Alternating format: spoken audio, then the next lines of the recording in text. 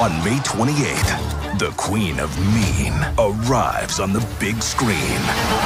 Oh, indeed I am. It's more divine when it's cinematic.